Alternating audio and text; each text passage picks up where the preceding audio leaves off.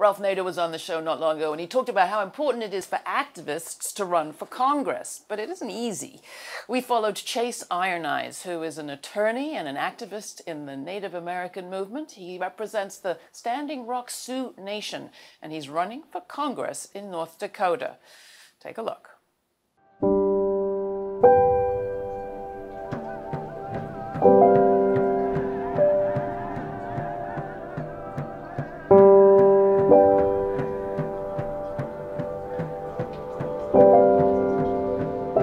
Oil company is not backing down and they've achieved a lawfully permitted right-of-way.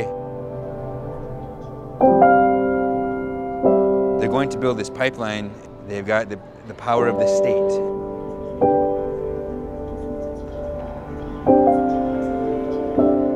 Indians don't do very well at that brand of capitalism. They've always been resistant to it. When I decided to seek the nomination to run for United States Congress, I was coming up to the NPL convention in Bismarck, North Dakota, and I ran into about 100 horse riders and runners and a caravan of about 100 cars that were blocking the entire highway. And they were going to establish the first resistance camp by the Cannonball River to protest this pipeline.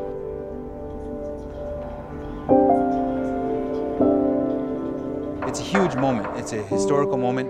It's, it's a collection of human rights, environmental rights, racial relations, uh, economic relations. It's a cry out for a new economy, a, a new reality.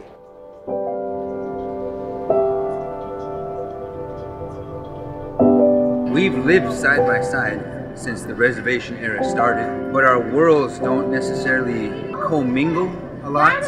We can see now that this living in separate worlds, there's a fear, misunderstanding, and an apprehension about what it means for 3,000 natives to gather in protest of a pipeline. I mentioned it to the governor to try to reach an honest and peaceable solution. He said he'd be willing to do that, but since that discussion, all they've done is call for more federal dollars to up the security and replenish the money that was spent. It's created a situation where we have to do our best not to fall into those lines of division that are being drawn in a way that positions lawful, tax-paying National Guardsmen against a group of unlawful protesters.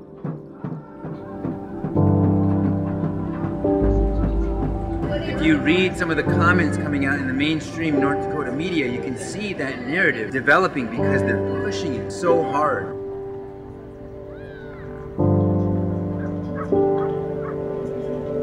Because they've declared a state of emergency, because they've called out the National Guard and activated them, because there are military style roadblocks, it creates an atmosphere of apprehension.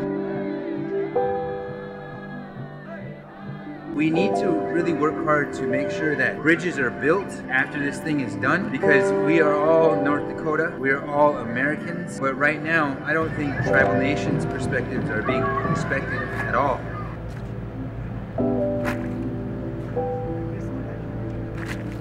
It's been a test, it's been a blessing and a curse, but anybody who wants to be a leader should not shy away from any of the real issues that confront, you know, our leadership, our constituency, and our society. Politicians are not leaders. Politicians answer to their donors, whereas leaders answer either to their own spirit or to the people that they want to represent.